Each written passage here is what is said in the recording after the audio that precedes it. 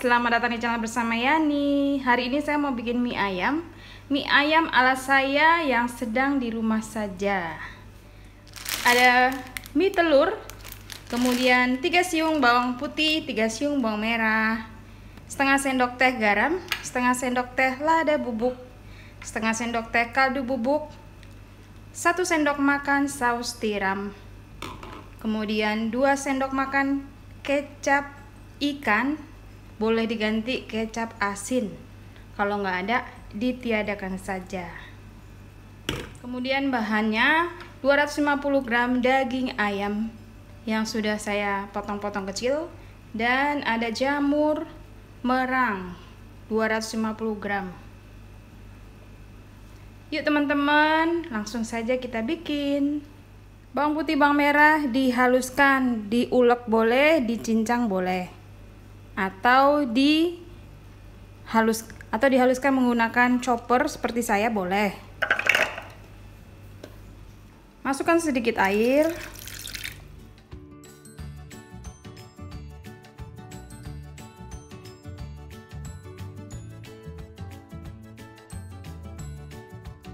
Bumbu yang sudah dihaluskan ditumis. Kurang lebih minyaknya 2 sendok makan.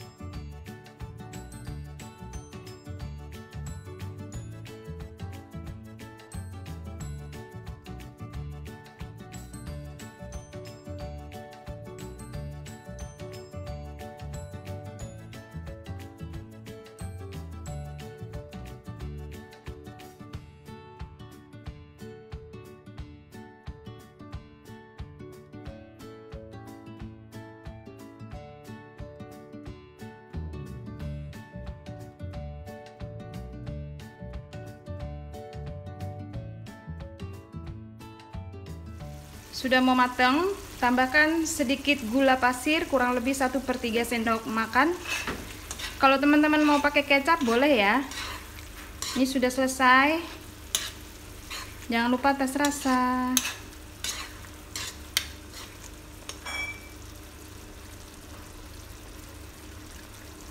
Hmm, udah enak.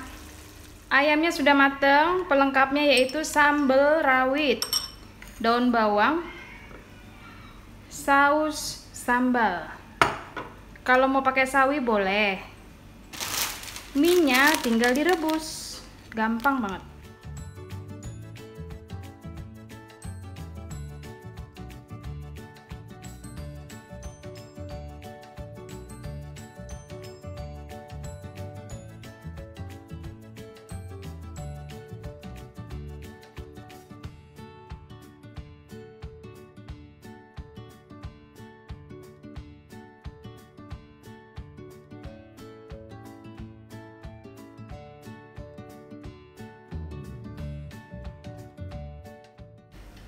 Ini jenis mie yang sudah asin ya teman-teman, jadi hati-hati pemakaian garam. Saya hanya menambahkan ayam, sedikit kuah dari si bumbu ayamnya.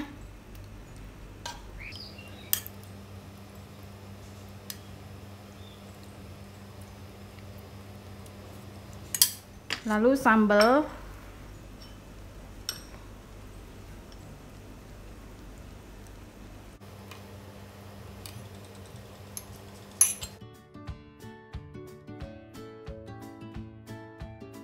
daun bawang bila suka, dan jeruk.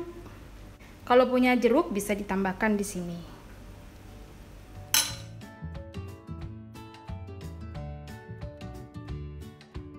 Pesan dari saya adalah kita bisa membuat makanan seadanya.